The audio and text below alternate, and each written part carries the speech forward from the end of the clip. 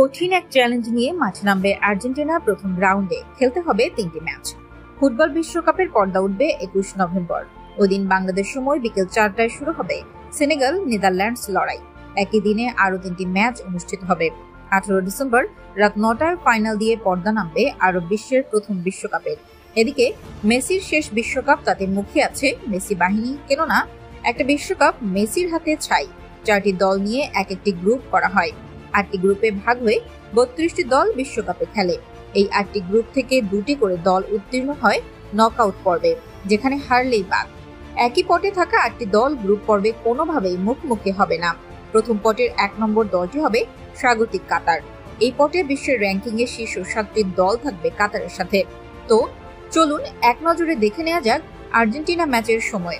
বাইশ November, Argentina, Saudi আরব বিকেল চারটায়। সাতাশ নভেম্বর আর্জেন্টিনা মেক্সিকো রাত একটায়। একত্রিশ নভেম্বর পোল্যান্ড আর্জেন্টিনা রাত একটায়।